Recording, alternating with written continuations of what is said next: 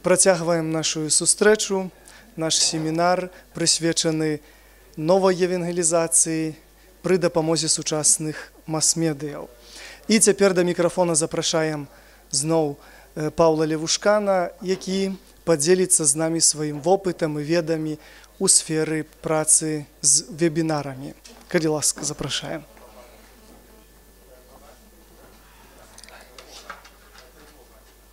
Спасибо большое. Э, Я хочу еще раз, пользуясь случаем, ой-ой-ой, пользуясь случаем, хочу еще раз напомнить вам про существование сайта базница.инфо, а также прорекламировать его следующим образом. Если вы пишете, если вы умеете писать, или у вас есть опыт на русском языке, а, то с удовольствием, присыл- ну, я просто приглашаю всех, присылайте свои материалы, присылайте свои статьи, присылайте свои новости из приходов, фоторепортажи, если вы фотохудожник, или любите фотографировать, а, какие-то видеосюжеты, если вы занимаетесь видеослужением, мы с удовольствием их э, опубликуем. То же самое предложение относится и к зрителям веб-трансляции. Пожалуйста, присылайте свои материалы, адрес очень простой. Вот вы видите на экране адрес сайта базница.инфо. Так вот, адрес редакции очень простой. Базница at базница.инфо. Все очень просто. Базница, собачка, базница.инфо. Запишите его прямо сейчас, чтобы не забыть потом. И когда у вас наступит вдохновение, или когда у вас появится какой-то информационный повод, а, вспомните, найдите этот листочек и напишите нам письмо. Так, что-то где-то шуршит, шуршит. У кого? У меня не звонит. Итак, э, мы сейчас будем говорить с вами о технологии вебинаров. Вебинары. Кто знает, что означает это слово в принципе? Один, два, три, руки выше, четыре, пять, от, от, шесть. Отлично. Итак, в двух словах, вебинар – это семинар, который проходит в онлайне. Он происходит от двух слов. Веб, то есть интернет, и семинар. Вебинар – это семинар в интернете.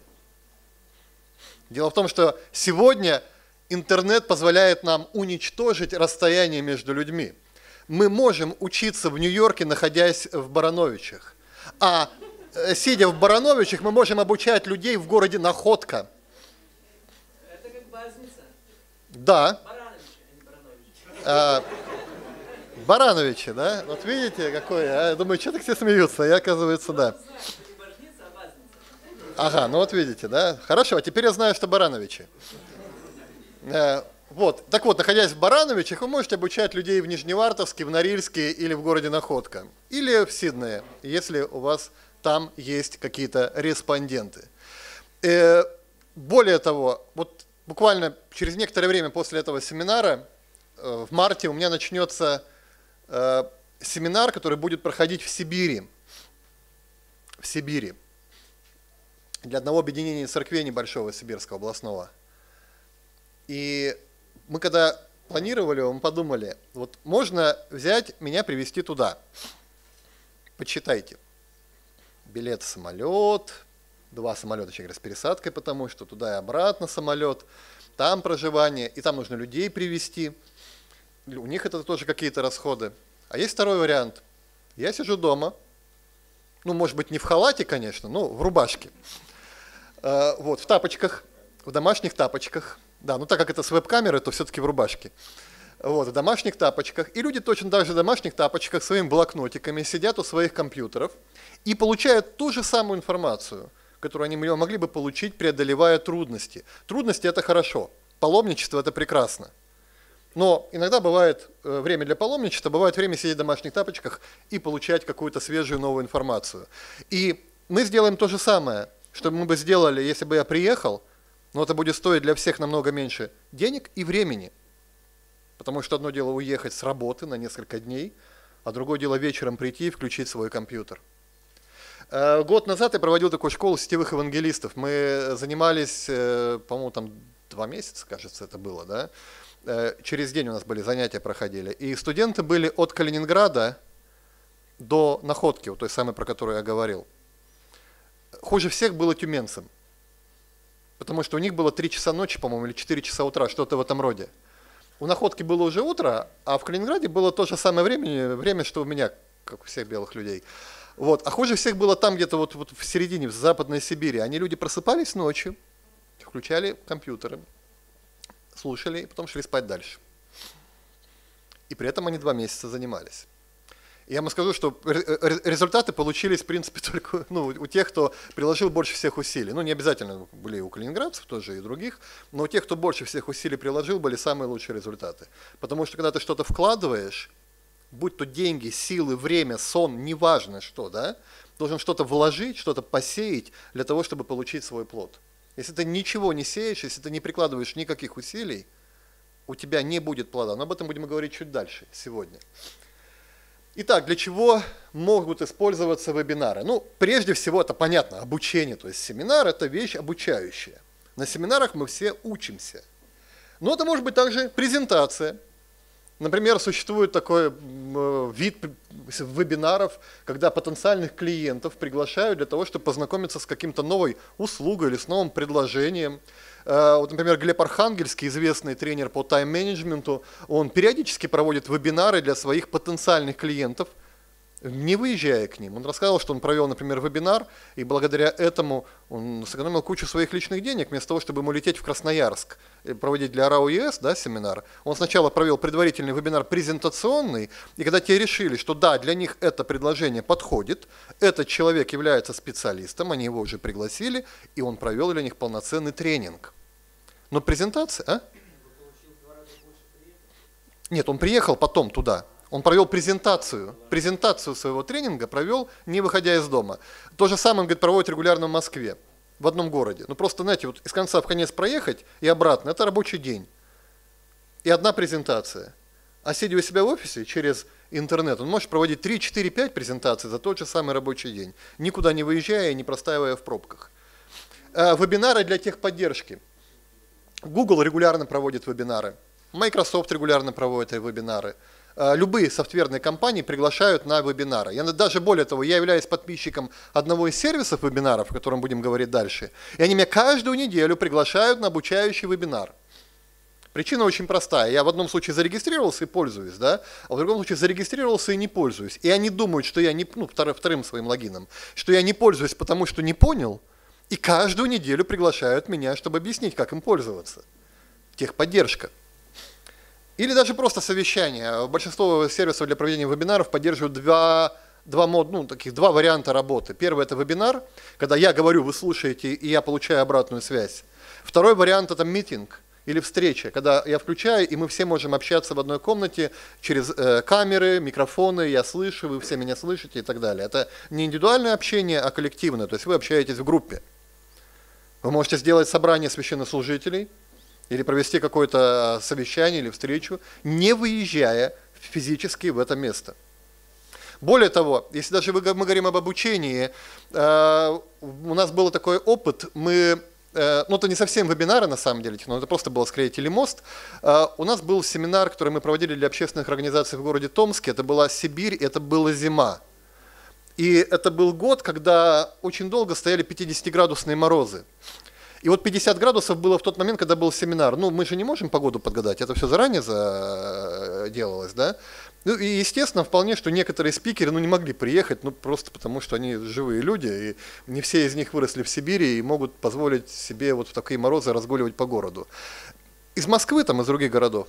И они просто выступали через э, Skype. Мы их транслировали, обратная связь через микрофон, было все прекрасно. Какие-то люди живые, какие-то люди виртуальные, но при этом был эффект присутствия достаточно серьезный. Итак, плюсы, главные плюсы вебинаров. Это дешево, про, про, про цену мы уже говорили, да, это выезд, это аренда помещения, это все минусуете сразу. Второе, не существует проблемы расстояний, то есть вы можете проводить сидя в Беларуси для любой страны мира – нет ограничений по количеству людей в зале, ну, кроме э, ограничений, которые накладывает сам сервис. Но обычно они достаточно такие, серьезно, 500 человек можно пригласить. Ну, не каждый зал влезет 500 человек. Да и придет, если честно, не в каждый зал 500 человек. Здесь можно пригласить. Э, высокая интерактивность. Э, в том смысле, что большая часть вебинарных платформ представляет собой следующее. Это окно в браузере, флеш-формата, то есть там такое флешовое приложение открывается, в котором вы видите спикера на веб-камере, с веб-камеры его, да, вы его слышите, вы видите презентацию, которую он вам показывает, он может расшарить свой экран, показать вам какие-то действия на экране. При этом существует специальная область для чата, где люди могут обмениваться мнениями или задавать вопросы. А спикер может включить каждому индивидуальный микрофон и вывести его в общую комнату, чтобы все люди слышали вопрос данного человека. Когда я работал в Международной высшей школе практической психологии в Латвии, у нас был такой опыт. Э, мне нужно было принимать зачет у студентов. Ну, по маленькому практическому курсу. И в этот самый момент у меня был правозащитный тур по Скандинавии. То есть я в это время был в Скандинавии, в общем, где-то там, примерно, между Стокгольмом и Копенгагеном. Так, плюс-минус. И мне нужно было принимать э, зачет у людей. А перенести нельзя зачет, и поездку перенести было нельзя. В итоге мы договорились следующим образом. У меня там был доверенный староста, свой, ну, такой надежный человек. Они пришли в компьютерный класс, включили свои компьютеры. Я сидел в Копенгагене в гостинице. Мы зашли в вебинарную комнату, и каждый индивидуально рассказывал, ну, сдавал, ну, сдали практически задания заранее, какие-то вопросы мы сделали через вебинары. Потом я приехал, оформил документы, и мы это самое получили такой вот, такой вот опыт был, да. То есть даже приемы зачетов виртуальные. Ну, а староста следила, чтобы они не списывали просто. Ну там такой курс, где было не обязательно. Ясно, что сложные экзамены вам просто процедуры не позволят принять. Но это был такой курс, где было это не обязательно. Да? Это, это было не страшно, даже если бы списывали. Там было главное, чтобы они ответили а, вы знаете, разные, потому что там еще была практическая работа, которую нужно было заранее прислать. Она не, не, то есть теоретическая часть не отражала всего, да, поэтому все можно было сделать. Итак, э, плюс, еще, еще один плюс, да, что каждый участник, а большая часть сервисов позволяет это делать, получает видеоконспект. Иначе говоря, все, что происходило на экране, все, что я говорил, и все, что люди писали в чате, можно получить в виде видеоролика. И потом просмотреть в удобное для вас время. И, наконец, возможность анонимности – тоже очень важная вещь, ведь есть страны, где э, религиозная деятельность христианская просто преследуется. И эти люди не могут зайти под своим именем, прийти и сказать, здравствуйте, вот мой паспорт, меня зовут там э, Махмуд там, Хасим Али и так далее, или что-то в этом роде. Нет, они не могут этого сделать. Но они могут прийти на вебинар и зарегистрироваться там под именем там, Василий Петрович Пупкин, например, да, и участвовать в вебинаре, вы не знаете, кто этот человек. Или это может быть какая-то особая группа людей, для которых вы проводите обучающий курс. Например, э, э, люди, которые там, например, э, находятся там, не знаю, в сексуальном рабстве или еще какие-то вещи, да, где вы проводите какие-то встречи, какие-то занятия с этими людьми, чтобы помочь им. Есть разные истории, есть разные группы людей, которые ну, не могут или не хотят показывать свое лицо и свое имя. Люди, проживающие в странах Средней Азии, не всегда это могут или не хотят и так далее. Но вы можете при помощи вебинаров обеспечить им необходимую степень анонимности. Помните, я вам рассказывал про домашние группы, которые мы проводили в скайпе, и что у нас там были староверы. И они говорили, что нам хочется изучать э, священное писание в такой вот экуменической атмосфере. Но, к сожалению, вот каноны не позволяют. То есть официально мы не можем прийти. Ну, не полагается, да? А эта степень, во-первых, анонимна, а во-вторых, нет такого контакта. То есть вроде как бы нет ощущения, что ты что-то нарушаешь. Потому что, ну, это же вот интернет, это же какая-то виртуальная вещь, да, и ты вроде бы не пришел лично там, ну, не ел из чужой тарелки, там, еще какие-то вот вещи, да. Ты вот в интернете, ты общаешься не с конкретным еретиком, а вот там с никнеймом. Да, но это психологические вещи, но они ведь тоже важны, послушайте меня. Но психология это очень важная вещь. Иногда человек не может э, развиваться духовно или там еще какие-то вещи делать, просто потому что у него есть психологические барьеры, психологические комплексы. Почему бы их не преодолеть? Я знаю много людей, я знаю много людей, хотя я верующий человек уже много-много-много лет, и у меня круг общения ну, очень сильно ограничен христианской аудиторией. Вот, я знаю немало людей, которые в церковь никогда в жизни не пойдут на домашнюю группу или на изучение Библии. Они ее боятся, они стесняются, им кажется, что это что-то такое, какие-то бабушки на забабоны там или еще что-то. Ну, много разных комплексов, вы знаете, да, вот молодых. Но есть люди, которые приходят на такие мероприятия, потому что у них снимается это вот ощущение того, что они входят в какую-то враждебную среду. Эта среда более привычна для человека, который живет в интернете. Флеш-приложение, презентация, веб-камера, знакомые слова. А, минусы. Намного меньше эмоциональная связь, конечно же. Вот здесь сейчас я вижу вашу реакцию. Я вижу, когда вы улыбаетесь, я вижу, когда вы скучаете. Я могу подкорректировать каким-то образом ваше выступление.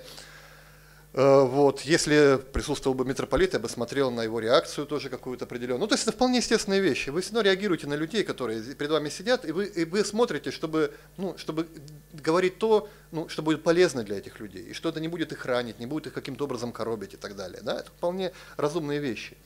Э, Но в случае вебинара, к сожалению, у вас это не получится. Вы видите только список людей и вы не знаете, как они реагируют. Поэтому э, технологически, я потом буду дальше об этом говорить, приходится периодически усиливать эту связь при помощи там, разных вопросов дополнительных, э, получения обратной связи от них, чтобы они что-нибудь написали. Там. Напишите плюсики, если вы поняли. Так, плюсики пошли, да? Или там напишите там э, да или нет, если там вы согласны или не согласны. Да-да-да-да. В чате, да? Ну, для того, чтобы вообще понять, вас слышат или они уже ушли и смотрят в это время какой-нибудь там ролик на ютубе в соседнем окошке. Хотя бы хоть как-то их вернуть. Они там слушают вас в наушниках, а сами в это время еще и видео какое-то смотрят, или там на сайте на каком-то сидят. Вернитесь и напишите, да, да или нет. Они вернулись, уже какой-то контакт. Э, Сложно приспособиться бывает, особенно для менее интернетного человека, говорить с, с компьютером. Помните, в, в, в нашей Раше там был один из героев, который говорил с телевизором. Вот некоторым людям сложно с телевизором разговаривать. Э, У меня первое время, когда я только начинал, я вообще делал так. Я э, в самом начале, когда я только делал первый вебинар, я делал так. Вот было, это была история, там была группа людей сидела перед компьютером одним, а я через сервис вебинаров для них вещал. Я им говорил, ребята, вот сфотографируйте, пожалуйста, себя и пришлите мне фотографию. Я разворачивал фотографию на рабочий стол и смотрел на эту фотографию и разговаривал с этими людьми на фотографии. Ну, это был буквально там первый или второй раз, потом я к этому привык и уже научился разговаривать с компью- со своим телевизором. Вот. Но это бывает сложно, нужно себя настраивать, чтобы понимать, что ты говоришь не с бездушным глазком камеры, особенно если у вас страх перед камерой, веб-камерой и так далее, а вы говорите с реальными людьми, то есть представлять, кто эти люди, которые находятся там.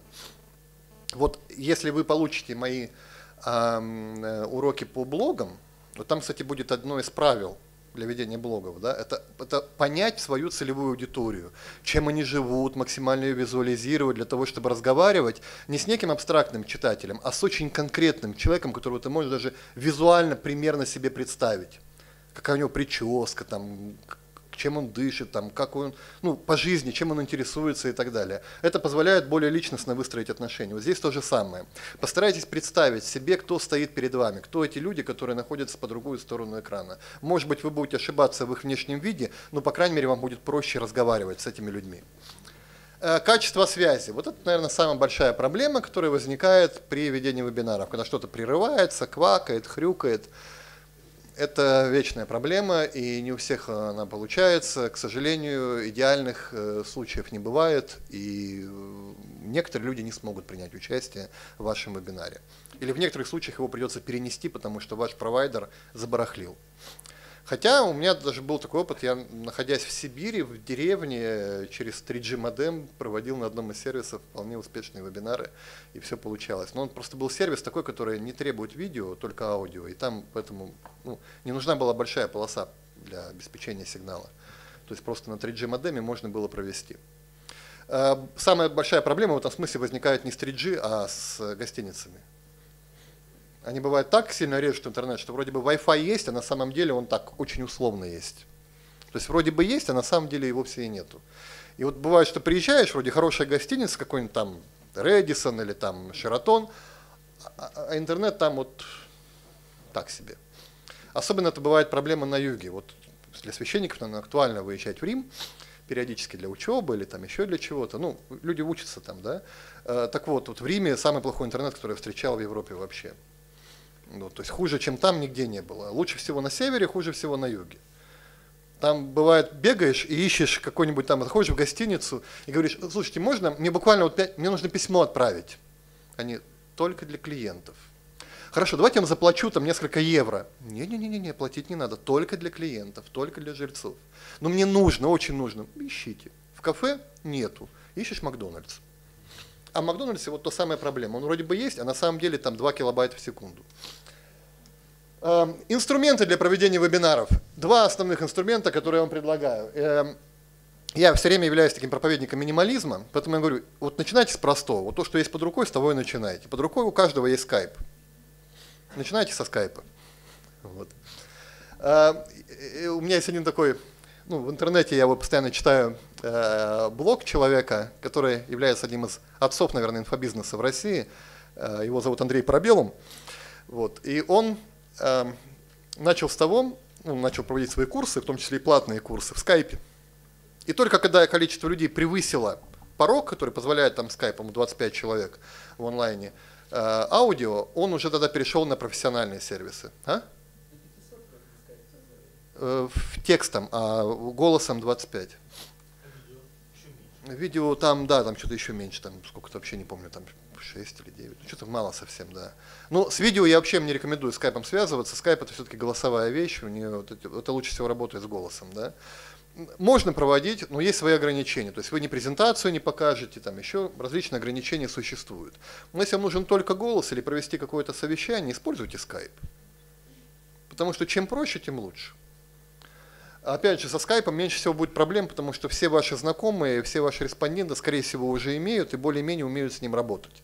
Объяснять там, как, где активировать флеш-приложение, которое там в опере не работает, или здесь глючит, или нужно флеш-плеер обновить, или еще что-то. Сами понимаете, это сложности, которые ну, не нужны, и просто люди могут их не вынести. И онлайн-сервисы. А, самые популярные сервисы вы сейчас видите на экране. Это, собственно говоря, WebEx.com и Webinar.com – это профессиональный сервис, они стоят очень дорого, но обеспечивают ну, максимальное качество связи. Там, например, Webinar.com стоит 5000 долларов в год, за комнату там, до 500, по-моему, человек, но при этом у вас будет качество очень хорошее даже на 3G модеме у людей, которые будут его получать, там хорошо пакуется сигнал, ужимается, передается, вообще все замечательно, но дорого. Вот этими первыми двумя пользуются фирмы, корпорации. Для серьезных, для, для серьезной работы. Либо те люди, например, учебные заведения, кому нужно часто, много и постоянно проводить вебинары, они вот покупают ну, 5 тысяч долларов, понимаете, для там, большого вуза, например, или для среднего вуза, это ничто, это, не, это немного, да? он может себе это позволить. Э, частное лицо вряд ли. Поэтому я рекомендую два следующих. Сам я пользуюсь GVO Conference. Это бывший сервис, который назывался Hot Conference. Сейчас ГВО конференц, он в Канаде, он имеет э, русскую и, по-моему, даже украиноязычную поддержку, э, то есть саппорт, то есть с вами будут беседовать люди, ну, в техподдержке, ну, по крайней мере, на русском языке с вами побеседуют, это точно, кроме английского и французского.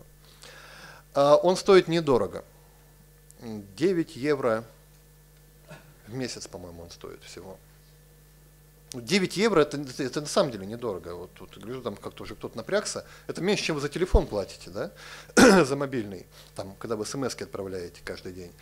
Эм, есть бесплатная версия, она, по-моему, месяц работает. Ну, некоторые люди делают так, когда кому не нужно часто, он просто регистрируется постоянно.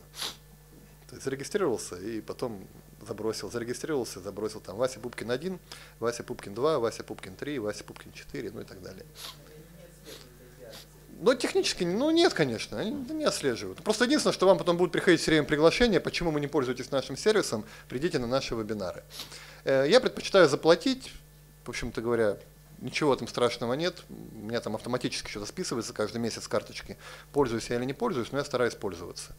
То есть, в принципе, для церкви, для прихода, даже для конкретного священнослужителя 9 евро в месяц можно, в принципе, позволить, если вы хотите этим заниматься. Если не хотите, сделайте складчину, скиньтесь по одному евро, 9 человек, распределите дни, когда вы, этим, когда вы работаете с этим сервисом. Раздайте друг другу пароли и логины.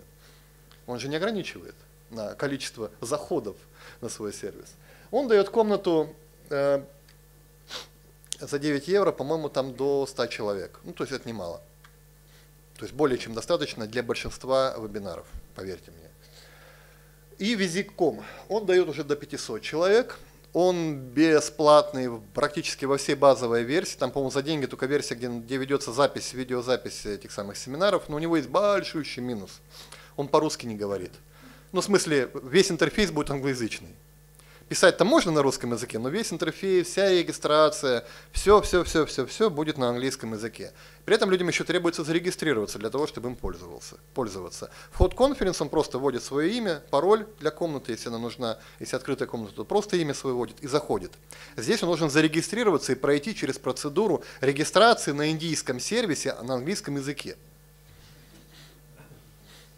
Вот если ваши клиенты знают английский язык, и вы собираетесь им преподавать Библию на английском, тогда, скорее всего, все будет нормально. Или если ваши там аудитории какие-нибудь программисты, там, айтишники, ну, в общем, люди, которые по жизни сталкиваются с английским языком постоянно, тогда, я думаю, проблем не будет. Во всех прочих случаях я вам все-таки рекомендуют этот ГВО конференц. Есть русские сервисы, так называемые. Они не все русские, некоторые украинские, может быть даже белорусские среди них есть. Я не знаю, кто там владельцы, откуда. Это Webinar.ru, российский сервис, очень качественный, дорогой, но очень качественный, опять же. То есть какие-то официальные телемосты, вот такие вот вещи, через него можно делать смело. Ну, где есть бюджет и грант, например, вы получили грант, и вы можете заплатить там эти 100 долларов за семинар за обеспечение технической площадки. Но зато будете знать что гарантированно, что, не знаю, там в сфере деятельности Ростелекома везде будет сигнал получен очень хорошо или идеально. То есть не будет затыков, квакания, тормозов и прочего. Webinar2.com, специфический сервис, его как раз создал Андрей Парабелов. Он э, сделан на Drupal из каких-то там модулей полубесплатных, либо, не, либо бесплатных, такой, ну, конструктор, да, собранный из Drupal. Э, там шауткаст для аудио, потом какой-то там э, флеш-чат к нему прикручен. Но он такой специфический, зато бесплатный. И вот как раз он позволяет вот даже с 3G модема вещать. Там никакого аудио, ой, никакого видео или презентации не будет, только голос. Голос и чат, обратная связь с людьми. Зато он бесплатный, и он в любой деревне точно его смогут посмотреть. То есть вот это его плюс. Ну, минус в том, что вам придется ставить на свой компьютер приложение. Если у вас Macintosh, то у вас ничего не получится. Если Windows, тогда, наверное, можно будет им пользоваться. Custom.ru – это аналог webinar2.com, тоже можете его использовать. Э, тоже очень э, нетребовательный к ресурсам э, сервис. Только аудио и только чат с обратной связью. Никаких микрофонов включать не получится, но в некоторых случаях это очень хороший вариант для бесплатного, ну, для начала, например, бесплатного, чтобы потом уже перейти на какие-то более навороченные сервисы. Или, если ваша аудитория имеет плохой интернет. Потому что вот, к сожалению, вот даже на ГВО конференц, который хороший, и все равно вот у нас были проблемы, там вот мы в Сургуте э, делались вебинары с Сургутом, и там у некоторых людей были проблемы, потому что особенность 3G заключается в том, что когда нагрузка на базовую станцию не очень высокая, все нормально. Как нагрузка поднялась, и фью, скорость тоже пропала, да. Начинаются затыки, там вот, паузы какие-то там и прочее, все, это уже проблема. Вот у этого проблем таких не будет, потому что он даже на обычном телефонном модеме работает, там, который 56 КБС, знаете, да. Webinar.tv, э, iMind.com, Webinar Pro. Ну, в общем, это уже остальные сервисы, клоны вот западных сервисов. Да, они более или менее хорошие. Хотите больше, их на самом деле больше намного. Просто введите там сервис для вебинаров в Гугле. И он вам выдаст там энное количество еще новопоявившихся, которых я могу и не знать, потому что просто ими не пользуюсь. Но может быть они вам понравятся по ценовым характеристикам или еще по каким-то другим. Техническое оснащение. Что вам нужно для проведения вебинара? Обычный компьютер, выделенный канал, веб-камера, наушники и микрофон. Вот все, что нужно. Вот у вас есть там 512 КБС, а лучше мегабит. Все, вы можете спокойно уже становиться сам себе э, преподавателем и профессором. Организация. Вот по поводу организации. Ну, во-первых, начало, первая вещь, да, которая очень важна. Вам нужно собрать аудиторию. Потому что из 100 человек, которых вы пригласите, 30 откликнется, 10 придет. Ну, реальности, да? Причина очень простая, потому что, во-первых, вы пригласили человека, он, о, говорит, хорошо, мне это интересно, это скажут не все. Те, кто скажет, мне интересно, они забудут. У них будут другие дела. У них в это время нужно идти за ребенком в садик или еще что-то. Да, миллион дел на самом деле может быть, да? А, поэтому придет меньше, такая воронка получается. Да? Вот вы пригласили столько, согласилось столько, пришло еще меньше. Поэтому нужна хорошая реклама. И здесь не бойтесь переборщить. Используйте все, что можно. Какие у вас есть ресурсы? У вас есть там группы в социальных сетях, разместите. У вас много людей в Фейсбуке, э, сообщите. У вас есть там база рассылки церковная, разошлите. У вас есть возможность э, или деньги разместить контекстную рекламу, разместите. Э, использовать там рассылки массовые типа Maxima News или Христианская служба информации, ну, есть такие рассылки массовые, да, закажите, там 100 рублей рассылка у них стоит, можно заказать, в принципе, да, ничего страшного. Вот, э, э, то есть используйте максимальный охват, потому что эта воронка достаточно серьезная. И у неподготовленной аудитории, которая является христианской аудиторией или интересующейся христианством, эта воронка будет еще такая, еще, и, и, и, еще более крутая. То есть сделайте тысячу приглашений, придет 20 человек или 10. Поэтому не бойтесь рекламировать много. А, регистрация. Здесь я вам советую использовать, вот надо было, наверное, наоборот сделать. Сейчас про рассылки, потом про вебинары. Ну ничего, завтра я буду говорить про рассылки, я думаю, не все уедут, надеюсь. Э, так вот, используйте различные средства, любые, чтобы получить от человека адрес его электронной почты. Это может быть следующее. Для того, чтобы вам зарегистрироваться на семинар, пожалуйста, пришлите мне письмо с такой-то темой, я вам отвечу. Если у вас нет никаких вообще сервисов, да, не пользуетесь. Но если вы пользуетесь какими-то сервисами для рассылок, о которых мы будем говорить завтра, а, то, пожалуйста, обязательным условием для регистрации сделайте, чтобы человек заполнил эту форму, там виджеты такие специальные формы, там имя, имейл, еще что-то, от этого сервиса рассылок. Для чего это нужно? Потому что вы потом должны будете человека обязательно пригласить дополнительно несколько раз. За день семинара, вебинара, в день вебинара, за два часа до вебинара и так далее. Несколько раз пригласить. То есть у вас должен быть обратный контакт с ним – вы должны иметь его адрес электронной почты. Адрес электронной почты это, а, это то же самое, что вы э, пришли, постучались человеку в дверь. Он вам открыл ее, вы сказали, пойдем со мной, там, не знаю, на мероприятие какое-то. То же самое, что вы обзваниваете людей, знаете, перед какими-то событиями церковными людей обзванивают. Это то же самое. Если у вас нет адреса электронной почты, шансов, что человек придет, очень мало. Поэтому любым способом, который у вас есть, ну, возможен, возьмите от него какую-то обратную связь, чтобы вы могли его пригласить.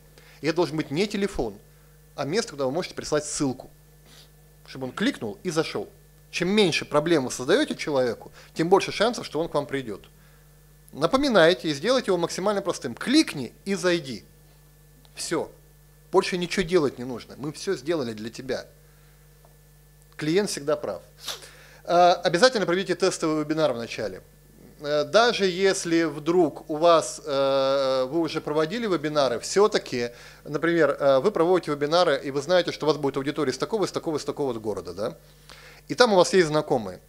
Попросите этих людей просто провести с ними тестовый вебинар, да, вообще какая связь с этим городом. Может быть там канал просто большой, забитый, и все очень плохо.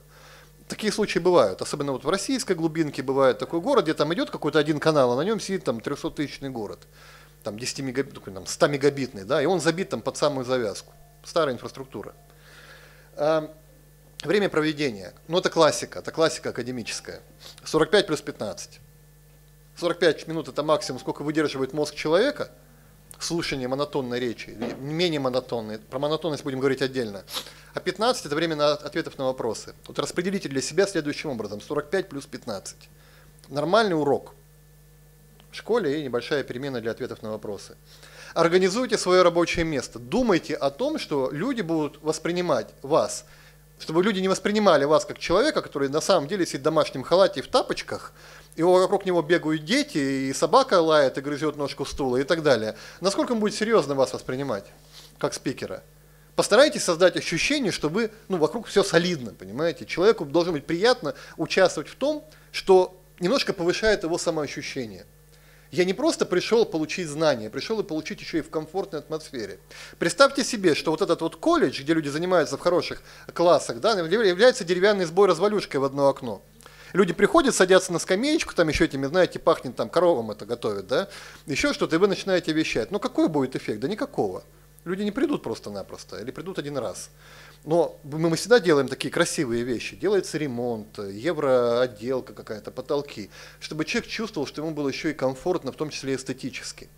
Подумайте о том, что люди увидят в веб-камеру. Ну там, что за вами будет висеть. Вот подумайте об этих простых вещах заранее, до семинара. Подготовьте к себе вот все необходимые э, конспекты, там, книжки, блокноты, если они нужны. Что вам не нужно было сказать, ой, извините, пожалуйста, я сейчас приду. И исчез из экрана. И люди сидят, смотрят пустой экран, а он там что-то шебуршит чем-то где-то, столы задвигает, а? Да, в это время можно пускать рекламу, конечно, но это один вариант. Но, тем не менее, я вам не советую. Э, постарайтесь все-таки сделать так, чтобы ваше рабочее место было подготовлено. Это вроде бы простые элементарные вещи, но если вы их забудете, у вас будет потом ну, дискомфорт. Подготовка презентации и тренинга. Заранее подготовьте хорошую презентацию. Не нужно делать ее навороченной. Э, идеальной презентации, самой лучшей презентации, э, которых никто не мог еще превзойти до сих пор, э, были у Стива Джобса. И они были очень минималистические. Чаще всего это была картинка и одно какое-нибудь слово. И этого достаточно. А учтите еще, что человек воспринимает текст на экране не на весь экран, а вот такое вот, такое вот окошечко у него будет на большом экране, да? Если у вас там будет много-много-много-много-много-много текста, да, велик шанс, что если у человека плохое зрение, он его даже не прочитает. Или это будет нечитабельно, или начнут шрифты искажаться и так далее. Поэтому постарайтесь сделать так, чтобы презентация не несла слишком много полезной информации, которую нужно там переписывать и читать, а была иллюстрацией, которая бы эмоционально людей настраивала и давала бы э, толчок для того, чтобы следить за вашими мыслями.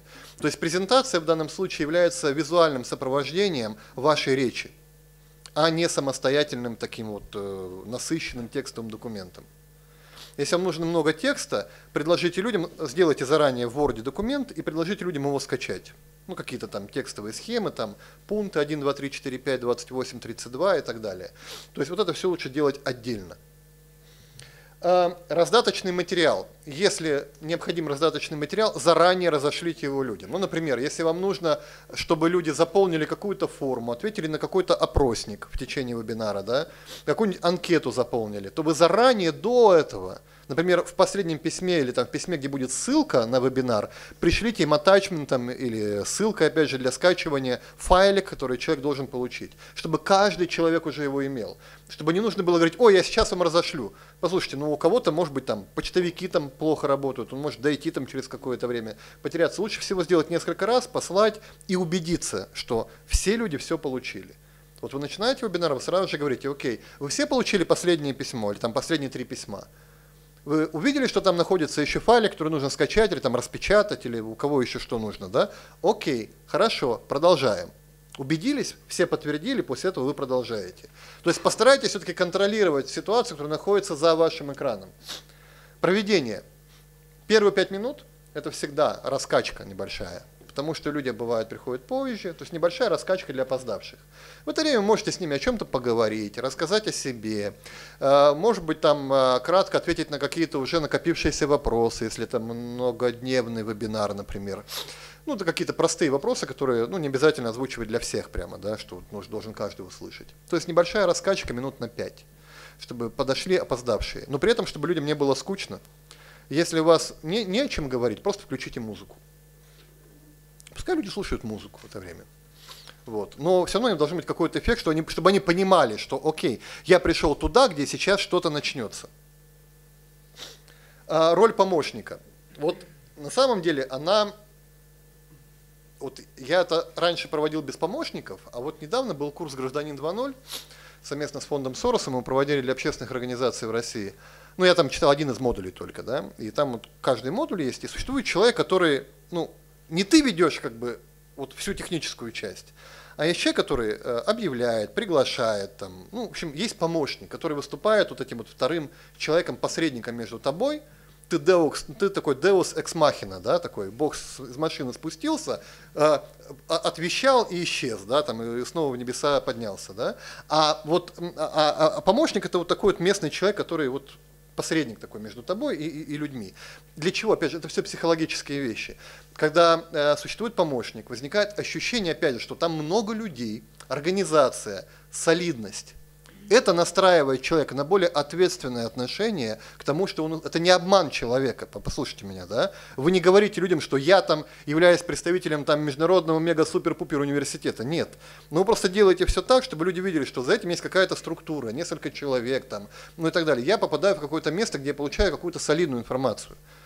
Потому что иначе доверие к тем вашим словам будет ниже, если вы там сидите на какой-нибудь там скамейке и вещаете там с очень плохого компьютера. Постарайтесь сделать так, чтобы человек еще эмоционально был настроен на доверие к вам. И во-вторых, это просто удобнее. Вот я говорю по себе, что почему мне понравилось. Это просто удобнее. Ты, ты не занимаешься этими всеми вещами, там, э, у меня не работает в опере, сейчас давайте созвонимся по скайпу, я вам помогу установить плагины, обновить там флеш-плеер и так далее. Всем этим занимается другой человек. Ты настраиваешься, рассказал, ответил на вопросы, дал задание, все, другой человек этим занимается. Пускай этим занимается волонтер. Вот я думаю, что для нашей аудитории это еще более актуально. В приходе есть молодой человек, скорее всего, который вот в интернете хорошо шарит, в компьютерах. Вот пускай он этим занимается, пускай это будет его служение. Во-первых, для него будет приятно, что он участвует действительно в хорошем, важном деле, правильно? А вы, например, как служитель, снимите с себя головную боль и разбираться вот во всех обновлениях последнего Adobe и так далее, в скачиваниях и в решении проблем, которые встречаются с браузерами, которые вы никогда в жизни не слышали их названий. Вот. То есть вам не нужно просто будет этим заниматься. Лучше всего сделать так. Найдите помощника и сделайте с ним вместе. А активное участие студентов. Постарайтесь вовлекать студентов максимально, говорю, активное участие вот в том, что вы говорите. А именно, я говорю, задавайте им вопросы, просите обратную связь, просите подтвердить, поняли ли вы, или там э, назовите, пожалуйста, э, какое-нибудь там слово, ну, которое там нужно там назвать, там, не знаю, вот какие у вас ассоциации вызывает там такое-то явление. Все начинают писать что-то, ну, чем что-то делать. Чем больше они что-то делают, тем они больше шансов, что они не уйдут. Про рассеяние внимания мы уже с вами говорили. Про то, что в интернете куча отвлекающих моментов, мы с вами уже говорили. Вы еще можете попросить этих людей, ну, если уж совсем вот такой человек жесткий, попросите их закрыть вообще все остальные окна, просто принудительно. Вот закройте все вкладки. И давайте будем вот 15-20 минут, или 30, или 45, будем заниматься только мы вот с вами вместе. Потому что если у человека закрыто еще 15 вкладок, и вот время лента РУ обновилась, то он туда уйдет и будет слушать краем уха. Контакт потерян, и есть большая вероятность, что увидев еще что-то интересное, он вообще закроет ваше окно с вебинаром и уйдет дальше. Потому что просто ему надоело, наскучило, он потерял контакт. Пока контакт есть, есть интерес. Контакт потерян, интерес пропадает. Э, визуальное сопровождение, я, говорю, как я уже говорил, презентация. Да? То есть презентация или, рас, или показ экрана, или еще какие-то вещи желательны. Потому что человек, он или аудиал, или визуал, или кинестетик, как вы знаете. Да? То есть ну, кинестетикам здесь сложнее всего, но кинестетик вы можете просить по клавиатуре печатать что-нибудь напечатать. Вот. Это, для, это для, для кинестетиков. Да? Аудиал будет слушать ваш голос, а визуал будет смотреть презентацию. Таким образом вы зацепите всех. Кинестетика, если ему по клавиатуре не клацать, он, ему станет скучно, вот, если не будет все время этой обратной связи. А, а, а, а, а визуалу, например, вот аудио-вебинары очень... Я визуал. И для меня вот эти вот вебинары на webinar2.com или Castim.ru это каторга. Потому что ну, я реально я не могу смотреть. Во-первых, там передо мной только плеер, я больше ничего не вижу. Мне становится скучно, мне тяжело.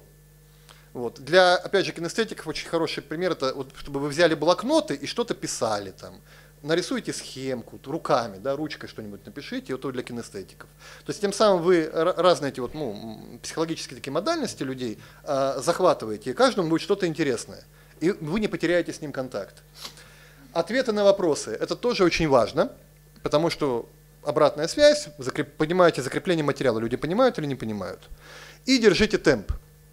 Если вы говорите в течение 45 минут примерно вот таким вот голосом, ну я сейчас еще быстро говорю и эмоционально, можно еще менее эмоционально говорить, а если при этом у вас э, э, еще есть такое э, свойство использовать слова-паразиты, э, тогда будет сложно. Постарайтесь себя внутри завести. Вы должны быть радостным. Вообще есть хорошее правило, вот я недавно у Робина Шарма прочитал, да? Когда вы снимаете трубку, улыбайтесь чтобы у вас глаза горели, трубку телефона, да, а лучше еще встаньте, когда вы встаете, ну, в вебинар не надо вставать, иначе они будут видеть ваш живот вместо вашего лица. Э, вот, лучше, если вы, если вы говорите по телефону, встаньте, улыбайтесь, чтобы у вас глаза, чтобы энергетика это передавалась людям. Постарайтесь это сделать, чтобы ваша энергетика передавалась людям, чтобы их заводили. Ритм, ритм речи, держите темп. То есть внутренне себя вот так вот подстегивайте как-то, да, можете какие-то жесты там делать, я не знаю, там, когда говорите, там, жестикулируйте. Вот я все время жестикулирую перед экраном, когда я о чем-то разговариваю. Мне так, ну, вебинары провожу, мне так проще. Когда я сяду вот так вот, я начинаю говорить примерно так. Когда я начинаю жестикулировать, я передаю людям эмоции. Иначе не получается. Правило 10P, которое я вам хочу сейчас дать, вы его запишите. Кинестетики. Запишите его, пожалуйста, все. Аудиалы послушайте, а визуалы посмотрите на презентации. Так, первое правило – это философия, философия. Философия проведения вебинара отличается от обычной. Как я уже говорил, контакт меньше, а аудитория находится где-то далеко, нужно постоянно держать обратную связь и постоянно ее выстраивать и поддерживать. Поэтому просто учтите это, когда вы делаете свою структуру. Запишите сюда моменты, ключевые точки, регулярные, где вы должны получать контакт со своей аудиторией, постоянный контакт. В принципе, и для э, такого лектора это тоже нужно, но, наверное, не настолько обязательно. А вот там это просто обязательно. Цель. Вот это тоже очень важная вещь. Ну или пропос. Я не такой англичанин, как, чтобы без акцента читать такие вещи. Вы посмотрите. Цель. Цель заключается в следующем. Вы должны понимать, чем он закончится. Человек должен перейти из точки А в точку Б. Из точки А в точку Б. Он должен получить какой-то навык, он должен получить какое-то знание, которое он может применить в своей жизни, он должен измениться. Если после этого человек никак не меняется, то он теряет к вам интерес. То есть вы не просто даете академические вещи, да? Это своего рода, знаете, как при тренинге, да? Человек меняется во время тренинга. Он ну, получает какие-то новые навыки. Вот здесь то же самое. Это может быть знание, то он этого не знал, сейчас он это знает. Но знает, действительно знает, то есть вы получили обратную связь, он что-то написал, там, ответил на какие-то вопросы и так далее. Либо получил навык, то есть знание для навыка, он его применит эти знания, и у него там, не знаю, жизнь лучше станет. Отношения с женой наладятся, там, на детей будет меньше орать, молиться научится лучше, да, или там поймет, что такое исповедь в конце концов впервые в жизни настоящая. То есть что-то изменится, он может это зафиксировать и запомнить. Это очень важно. Поставьте цель. Вот что вы хотите, чтобы случилось с человеком после этих 45 минут вашего вебинара. И помните об этой цели всегда. Планирование. Это очень важная вещь для себя на листочке, запишите все какие-то шутки, которые вы будете говорить, чтобы не забыть, да, запишите ключевые вопросы, запишите все эти вот там игрушки. Давайте теперь все вместе повторим слово «Аллилуйя» или там слово там «Скажи своему соседу э, привет». Ну, вот вы знаете эти такие фишки, которые некоторые проповедники используют, да. В вебинарах этого делать не стоит, но в вебинарах есть другие фишки. Как я уже говорил, там, поставьте плюсики, если вы поняли. Там, похлопай брата своего по плечу, да вот, там, скажи брату своему 100 рублей. Ну, что такое вот. Э, профессионалы. Если вы не обязательно должны все делать сами. Вы можете привлекать профессиональных спикеров. При этом, вот в чем плюс вебинара один очень важный. Вы можете привлечь профессионального спикера в Барановиче из Рима. И он будет читать из Рима семинар для людей в Барановичах и в Барановическом районе в приходах. А в это время писать докторантуру где-нибудь в Григорианском университете одновременно. Понимаете? Или, э, как вот мы, например, был, был случай, э, мы проводили, правда, это был тоже при помощи вебинарной платформы, но это было для аудитории.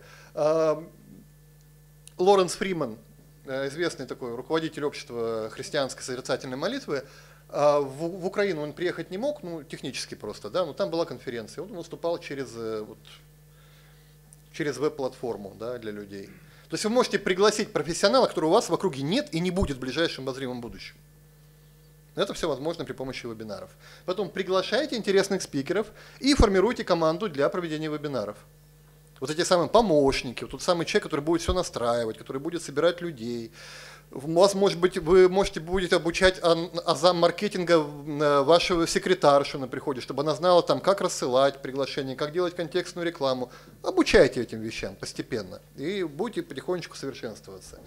А, программируйте содержание, как я уже говорил, да, программирование. Для того, чтобы перейти с точки А в точку Б, нужна не только цель, но и конкретные этапы действий. Один, два, три, четыре, пять. Вот что человек должен сделать, чтобы перейти, с точки А в точку Б. Какие 1, 2, 3, 4, 5, 6, 7 пунктов он должен знать для того, чтобы у него там изменилось такое-то восприятие. Что он конкретно должен сделать для того, чтобы научиться, э, не знаю, молиться молитвой Иисусовой. Что конкретно сделать. Вот вы должны запрограммировать ну, в структуре. И чтобы человек поэтому шел вместе с вами да, по этим пунктам. Чтобы потом он мог это повторить после окончания и получить результат который он может зафиксировать в своих ощущениях, в реальности, данной ему в ощущениях. Продвижение. Про, про, говорю, не жалейте рекламы. Промоутируйте или рекламируйте везде и очень активно. Не бойтесь прослыть назойливым в данном случае, потому что говорю, воронка очень такая жесткая. Э, И чем больше вы людей пригласите, тем больше шансов, что они придут на вашу встречу. Кстати говоря, на повторную встречу гораздо проще пригласить. Потому что это люди, которые уже вам доверяют, если вы, конечно, хорошо его провели, и они придут снова.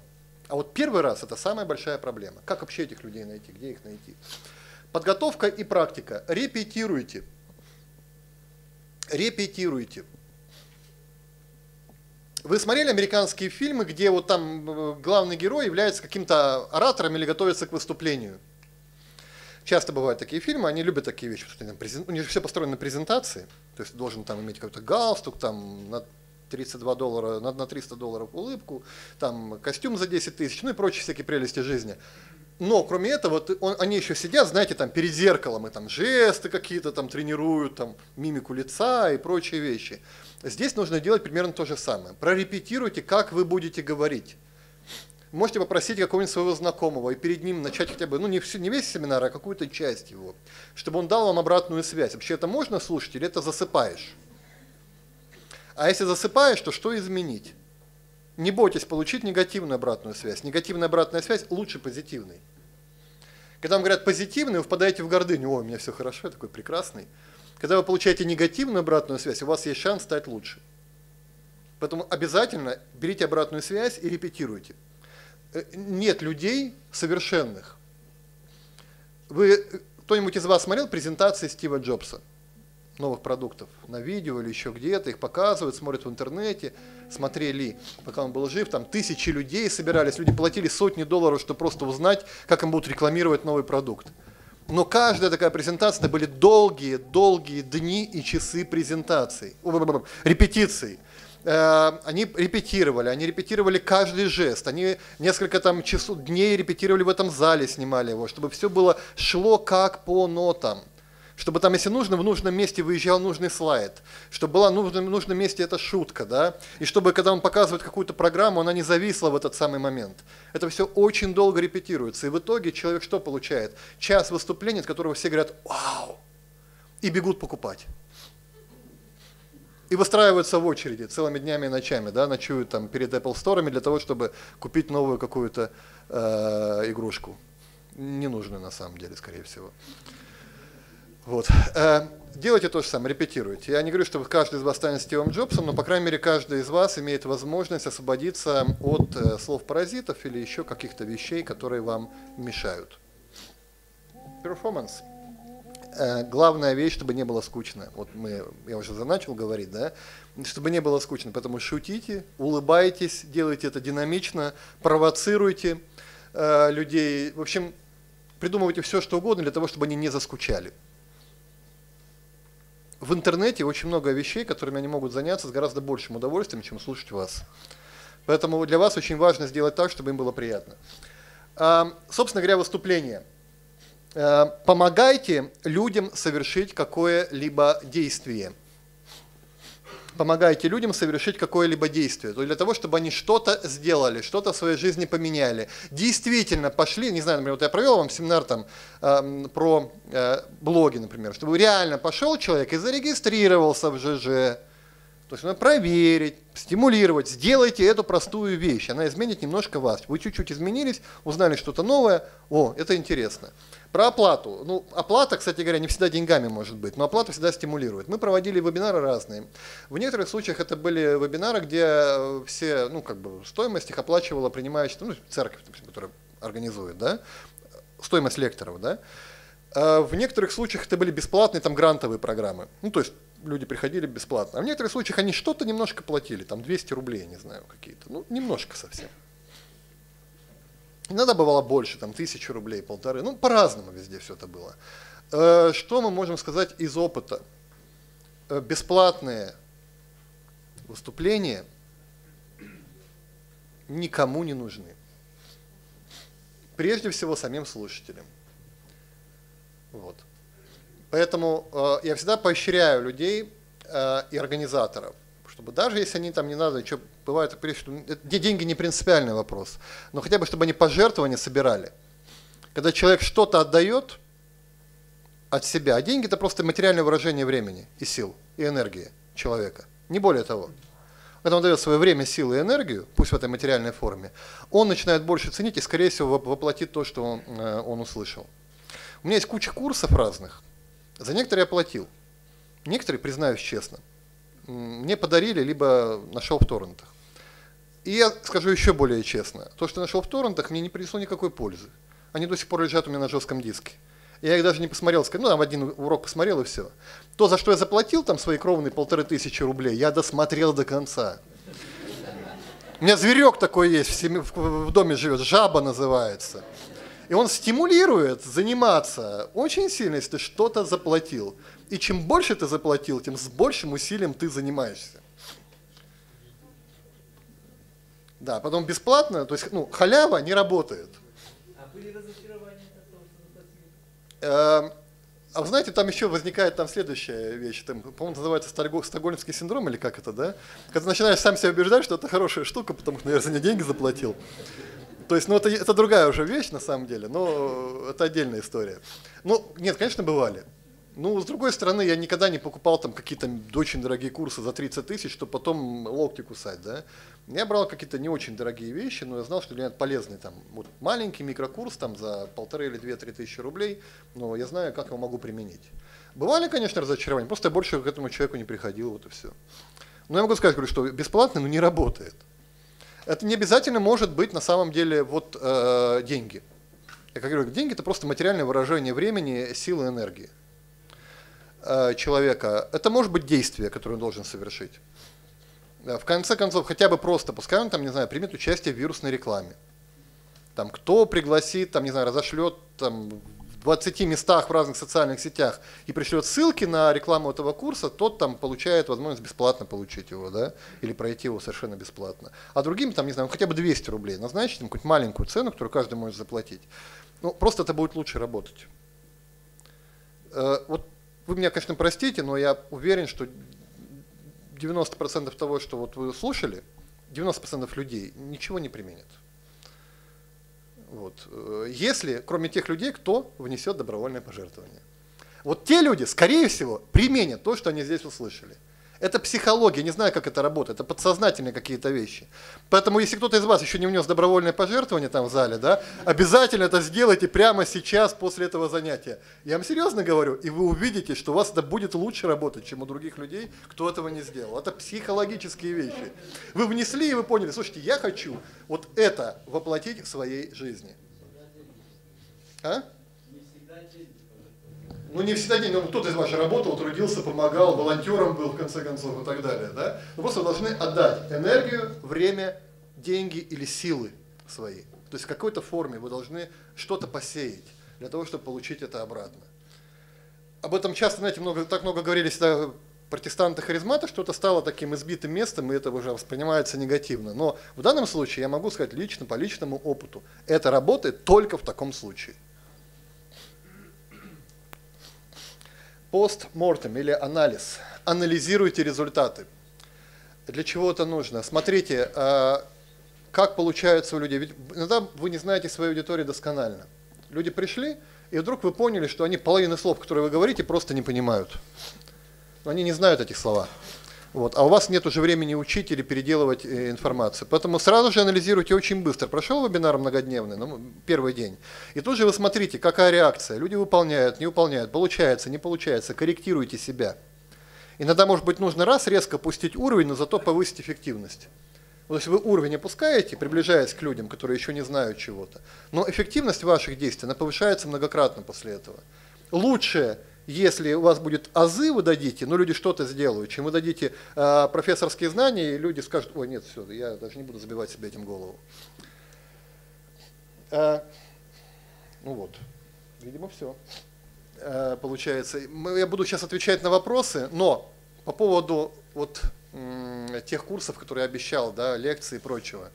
Друзья мои, вы уже некоторые прислали, но я решил немножко облегчить вам. Облег... Ну, прислали некоторые запросы, да? Но я решил немножко облегчить для тех людей, кто не совсем понял, как это делать. Вот я специально сейчас это сделал.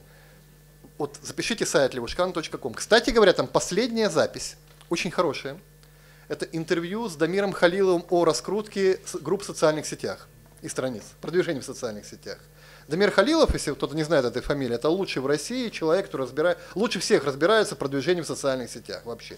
У него агентство Green PR, которое работает на мегакорпорации, на крупные. Это лучший в России специалист, на мой взгляд. И с ним интервью аудио. Оно выложено в последней записи в этом блоге. Обязательно его прослушайте. Дамир Халилов.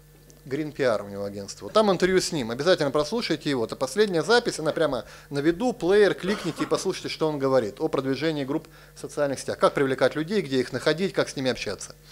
Там же справа, справа вы увидите формочку, написано «Школа эффективных коммуникаций». Там нужно будет ввести свое имя и свой email и нажать кнопочку «Хочу получить бесплатный курс». А, После этого вам придет письмо, котором будет содержаться ссылка для подтверждения. Да, я хочу точно получить этот курс. Вы по ней кликаете, и затем вам приходит ссылочка на очень простой курс. А после этого, когда я вернусь домой, то есть ссылочка придет вам сразу на очень простой курс. А когда я вернусь домой, я в три письма разошлю вот все те материалы, всем тем, кто подпишется, разошлю материалы, которые я обещал по блогам, по Твиттеру и бонус «Как справиться с интернет-зависимостью». Специальная лекция, потому что то, что мы с вами говорили, мы вас подсаживаем на очень опасное дело, которое может привести вас к потере здоровья. Здоровья. Для того, чтобы этого не случилось, нужна необходима, естественно, вакцина.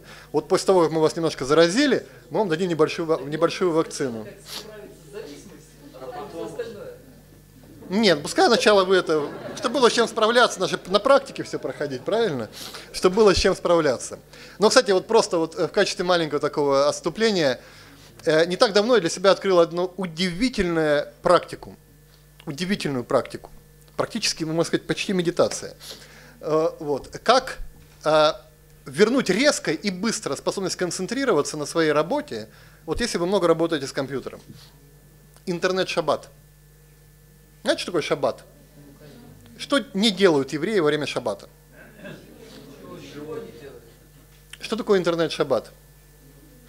По аналогии. В пятницу вечером я выключаю интернет. В пятницу вечером. Солнце зашло, рабочий день кончился. Я, выклю- я захлопываю ноутбук и кладу его в ящик стола.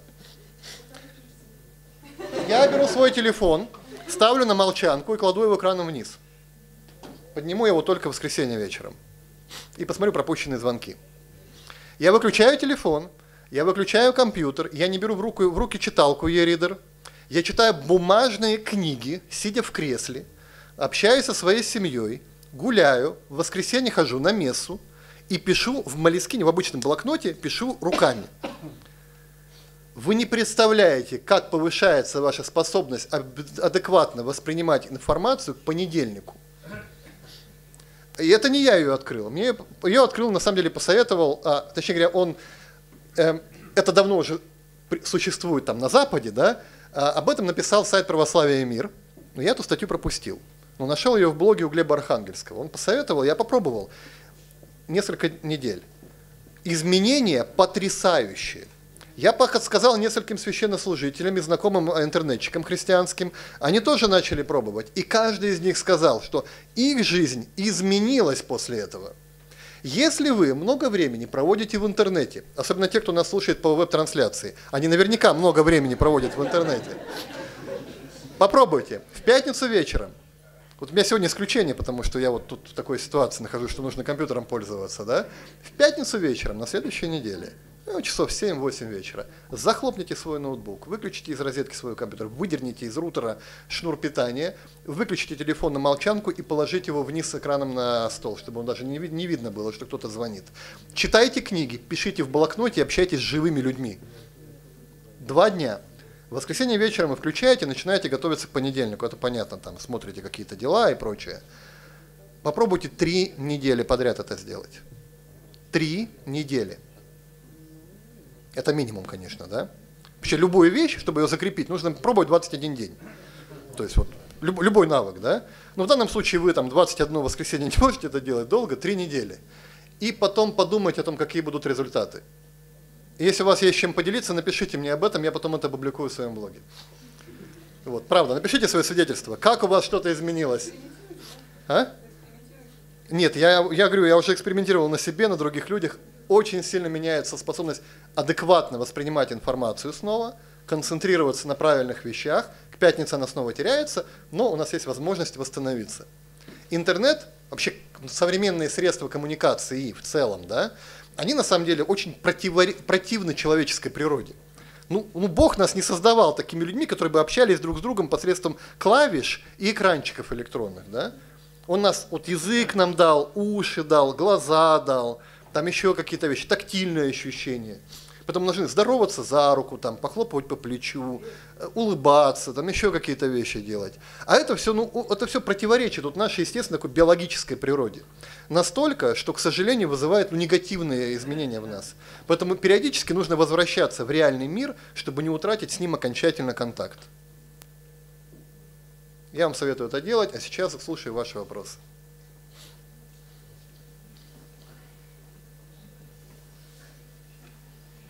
Тех, кто разослал. э, уже. Можно похлопать? Можно.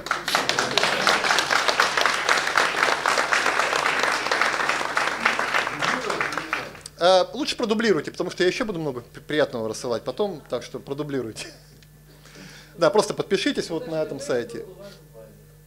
Мы Да, чтобы я мог присылать новые уроки. Я не буду присылать спам, обещаю. Никакого спама. Нет. Из интернета э, никакого спама. Только полезная информация. Э, сделайте это обязательно. Еще какие-то вопросы есть?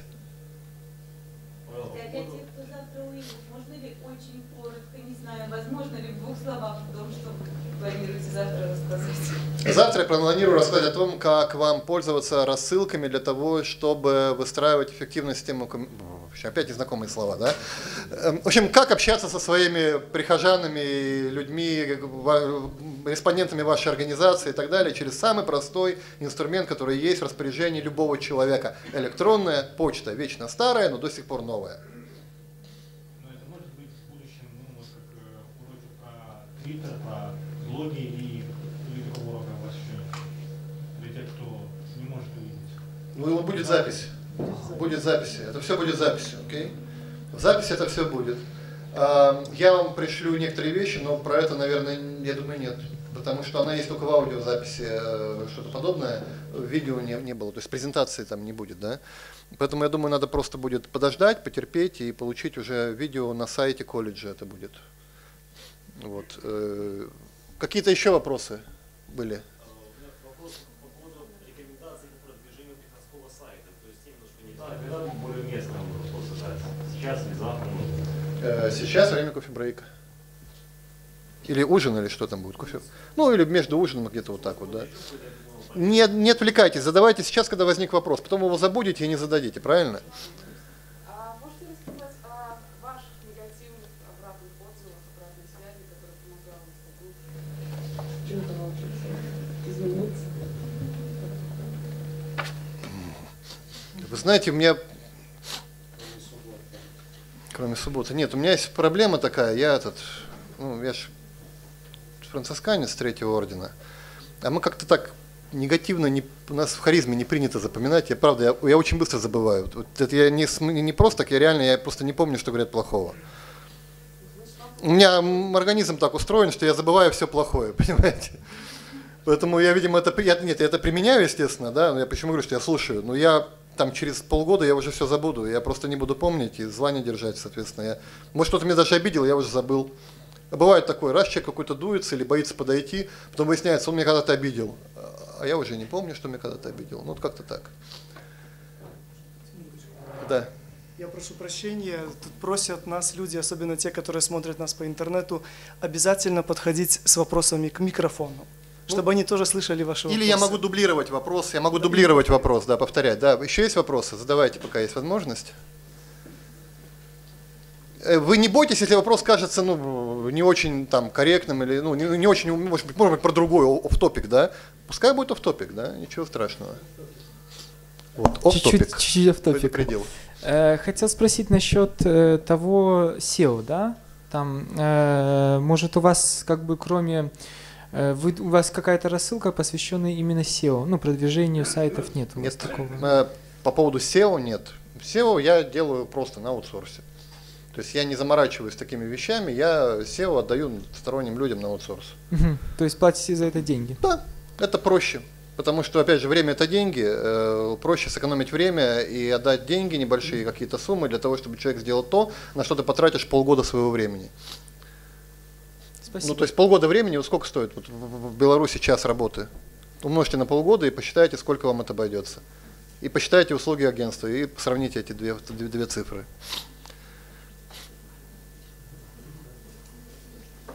Все, что вы можете давать на аутсорс, давайте на аутсорс. То есть другим сторонним людям, да. То, что вы не можете или вам это интересно, делайте сами.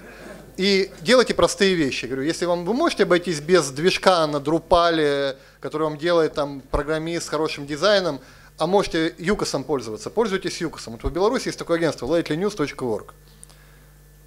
Достаточно популярное, ну, информационное сайт христианский, .org.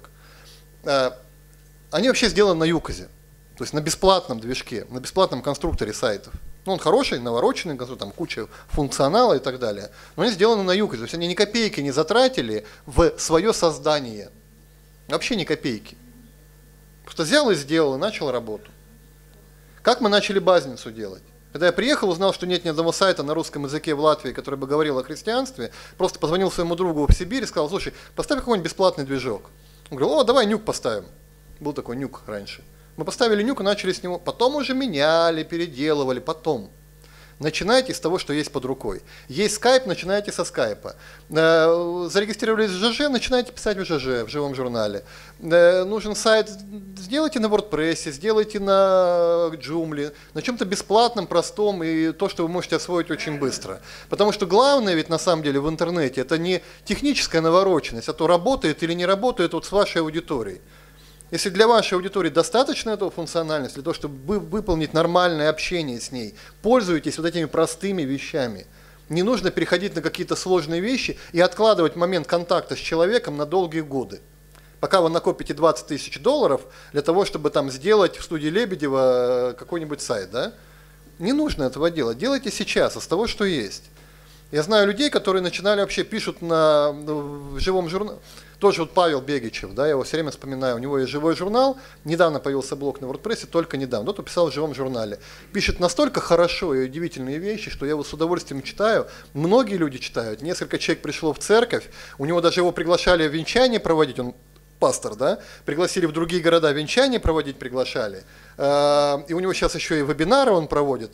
Используя, опять же, говорю, простейший инструмент. У него есть только Skype, живой журнал и вот этот самый ГВО конференц, о котором я говорил. Все. Павел Бегичев. Бегичев. Да, по-моему, так. Ну, просто это, ну, это реально хороший пример, да. Еще такой вот вопрос, скажем, более технический. Просто вы говорили, э, когда делается вебинар с помощью какого-то сервиса, ну, понятно, что там веб-камера, вот я, допустим, как э, человек, который проводит этот вебинар, а каким образом, э, скажем, хотя бы поверхностно-технически показать им э, тот же свой экран и так далее. Ведь это происходит при помощи какого-то там, через браузер все, ведь так? Да. А каким образом это все сделано? Хотя бы так нужно какую-то программу ставить, чтобы показать им свою презентацию отдельно, которая сделана у меня уже заготовлена. Если вы пользуетесь сервисом, то э, там будет так. Вы внутри сервиса заходите и загружаете презентацию в PowerPoint. Она конвертируется вот там флеш-формат внутренний, да, и показывается внутри этого, ну, внутри этого окна сайта, да. Там внутри открывается приложение флешовое, в нем будет несколько сегментов. Презентация, ваша веб-камера, список участников, чат, то есть эти вот все вещи, да, разные такие, ну, да, на, на экране. Есть возможность показать экран, шаринг экрана. Да, вы показываете, переходите в нужное окно, вы-то ходите по окну и что-то делаете, кликаете, говорите. А люди будут видеть просто изображение вашего экрана с двигающейся мышкой. Это примерно так же, как вы это можете сделать в скайпе. Ведь в скайпе вы тоже можете показать другому свой экран, там, помочь там, программу какую-нибудь настроить, да, например. То же самое вы можете делать через сервис вебинаров. Точно так же. Показывайте экран, показывайте то, что у вас происходит. Это просто кнопочку нужно, нужно нажать и все. И потом вы уходите в другое окно, вы не видите этих людей, а они будут видеть то, что видите вы на своем экране. Еще вопросы. Э, Давайте сделаем так. Кто из вас хотя бы просто хочет в ближайшем будущем или думает, или надеется провести вебинар? для тех людей, с которыми он общается. Ну, просто хотя бы мысль у него такая возникла. Почему мне не провести вебинар для, э, для членов своего ордена, там, если я ну, являюсь там провинциалом или еще кем-то. Почему мне не провести, там, не знаю, встречу священнослужителей своего региона? Почему мне не провести э, вебинар для молодежи о семейной жизни? Еще какие-то подобные вещи. Завтра посмотрите еще про рассылки. Там у меня будет пример, как один э, человек, христианин, он начал семинары, ну, начал, там, через рассылку и вебинар он проводит одновременно, да, семинары о, о семье с библейской точки зрения. У него достаточно большой интерес к нему, люди смотрят, абсолютно, ну, называйся мотивационный спикер. Но на самом деле это просто человек, который проповедует евангельские ценности, отношения к семье, светским языком. И люди через это, опять же, изменяют свое отношение к семье. Они ему доверяют, и они изменяют свое отношение к семейной жизни, к взаимоотношениям между людьми, к разводам и прочим вещам в положительную э, сторону. Мне кажется, что это очень хороший пример. Я знаю людей, которые занимаются реабилитацией наркозависимых, которые проводят через вебинары а, обучение людей в региональных филиалах. Вместо того, чтобы их привести, они обучают людей в региональных филиалах. Э, э, Я знаю примеры того, когда, например, э, для, то есть э, с по- с помощью вебинаров э, проводится просто индивидуальное обучение, один на один.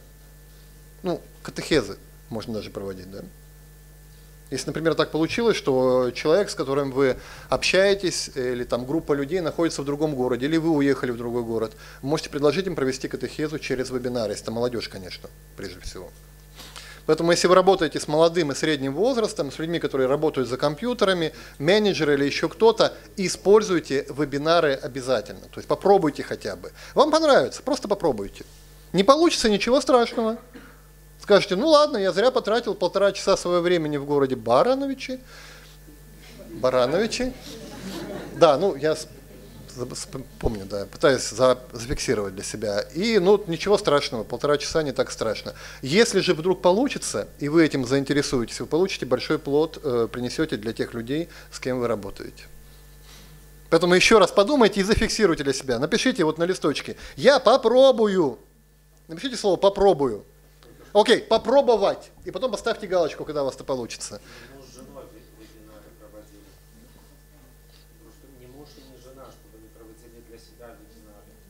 Ну, в принципе, почему бы и нет? В некоторых случаях. Через стенку.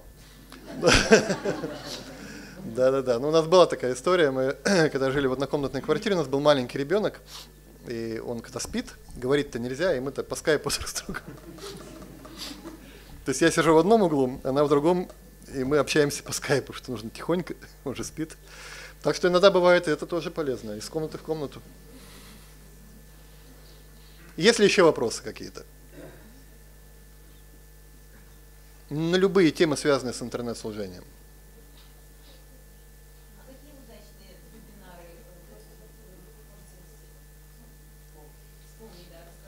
А какие удачные вебинары вы можете рассказать, спрашивают. Ну, Вообще, в которых я участвовал. Э, ну вот, говорю, мне очень понравился вот то, что мы проводили школа сетевых евангелистов. Она была вот, ну, шла несколько недель. И это был хороший опыт, потому что у людей были изменения, начались проекты, они до сих пор некоторые работают проекты. И вот завтра я буду рассказывать про один сервис э, рассылок, и там человек как раз вот он только-только начинал делать собственную рассылку. То есть не про сервис, а проект, связанный с рассылкой христианской. Он только-только начинал делать рассылку и как раз начал обучаться вот на нашей этой школе сетевых евангелистов, потом рассказывал, что это помогло ему понять какие-то вещи. Сегодня у него более 8 тысяч подписчиков, которые два раза в месяц получают его письма и отвечают, и очень активно включаются в дискуссии и так далее. То есть, ну, вполне такой реальный плод, совершенно конкретный э, вот, в жизни человека.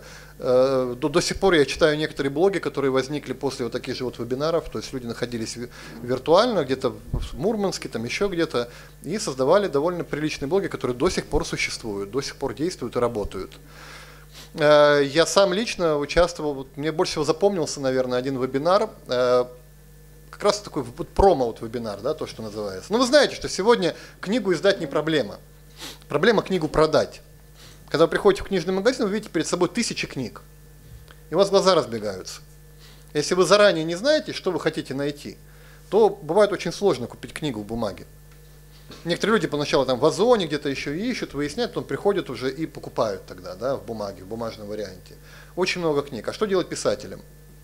И вот я был на одном вебинаре, мне просто понравился именно тем, что там креативно подошел к этому. Человек начал писать книгу, там, ну, о саморазвитии, мотивационную такую книгу, психология, там, саморазвитие, самосовершенствование и прочее. И прежде чем ее издать, он сначала открыл блог, где начал выкладывать э, даже не, статьи, не, не, не главы из книги, там было несколько глав из книги, а, но он предложил, что вы можете получить первые 10 глав из книги, если вы подпишетесь на рассылку. А в блоге он публиковал дополнительный материал по этой теме, какие-то дополнительные истории, новости, связанные вот именно с этой темой саморазвития, какие-то интервью, там еще что-то, видеоролики. Ну, в общем, все, что связано вокруг, понимаете? То есть блог дополнял как бы его книгу, давал дополнительную информацию, которую нельзя влезть там вот, вот, вот в узкий формат бумаги. При этом человек, подписавшись на рассылку, э, получал там первые 10 глав книги. Но это еще не все. Прочитавший эти первые 10 глав, и он приглашал каждую неделю, проходили вебинары, где он мог отвечать на их вопросы, где он давал еще какие-то дополнительные уроки, там, связанные с темой этой книги. А книга еще не вышла. Он начал блог, когда он еще только писал эту книгу. И на рассылку люди подписывались, когда у него еще было только 10 глав. А когда вебинары он начал, книга только-только пошла еще там в набор с издательством, был договор заключен только-только. Но послушайте, когда книга выйдет, эти люди, они уже знают, что они хотят купить. Он им объяснил, потому что, что он является специалистом, разбирающимся досконально в этой теме. Он дал им небольшую затравку, почитать несколько глав. Хотите узнать, что будет дальше? Идите покупайте в магазине. Примерно такой подход. Мне этот подход очень понравился. Он использовал блог, он использовал рассылку и он использовал онлайновое обучение для того, чтобы собрать себе лояльную аудиторию. Это не манипуляция, это лояльная аудитория. Потому что если э, книга не будет продаваться, издательство не заключит следующий договор, и следующей книги просто не будет физически. Он же может ее бесплатно раздавать, но кто, кто ее будет издавать, эту книгу? А с другой стороны, э, он позволил людям сделать сознательный выбор. То есть они уже знали, что они покупают. Не кота в мешке, а книгу, которую они уже часть прочитали, и книгу автора, которому они уже доверяют. И более того, они не только купили книгу, они еще получили кучу дополнительного материала, который в книгу никогда бы не вошел. То есть человек не просто продал книгу, он продал целый сервис для них, это целый проект. Так вот, про, книга как проект, это вот самая современная тема сегодня, да? Как справиться с пиратством? Книга как проект. Вы продаете не книгу, вы продаете в комьюнити, вы продаете дополнительные уроки, вы продаете дополнительные сервисы и прочее, прочее. А сама книга, ну и пускай ее скачают бесплатно, ничего страшного. Вот. Ну вот таким вот, вот это, это мне запомнилось. Использование вебинара для продвижения собственной книги.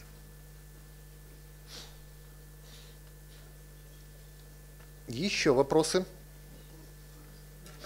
Ну, если нет вопросов, спасибо вам большое. И увидимся завтра. Если вопросы вдруг возникнут, я еще раз показываю свою, э, свою электронную почту, твиттер и прочие-прочие разные коммуникативные способы. Пишите мне в Facebook, пишите мне в Твиттер хуже, Фейсбук лучше, да, ну там проще ответить, на электронную почту или завтра, сегодня, в любое время подходите, задавайте свои вопросы. Э, я здесь для того, чтобы потратить на вас все возможное свободное время, поэтому, пожалуйста, делайте это не стесняясь. Спасибо большое.